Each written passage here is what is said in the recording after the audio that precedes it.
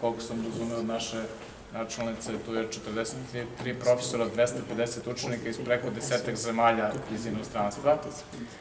I posebno želim da pozdravim našeg gosta iz Belgije. Imali smo jedan zanimljiv razgovor. Nama je zdravstvo veoma bitno i želimo da naši građani budu bezbedni i zdravstveno. Sa druge strane, susrećemo se sa nekim novim izazovima. Za ošetkom koridora 10 biće sigurno tu dosta izazova na autoputu. Pored toga, mi smo sedište jedne velike multinacionalne kompanije koji takođe želi i svi mi želimo da radnici budu bezbedni, da rade u bezbednim uslovima, a da kada je to neophodno medicina pruži brzu i kvalitetnu pomoć.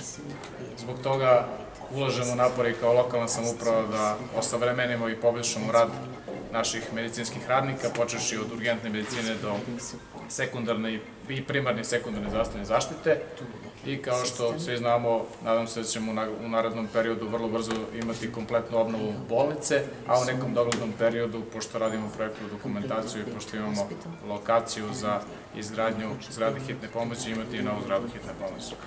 Ali sve u svemu najbitniji su kadrovi i najbitnije je da naši ljudi iz Pirota imaju direktnu vezu sa ljudima iz Niša, Beograda inostranstva, da mogu da budu u toku sa novim znanjima i da se stalno edukuju, pa je ovaj kongres zbog toga posebno značajan za Pirot.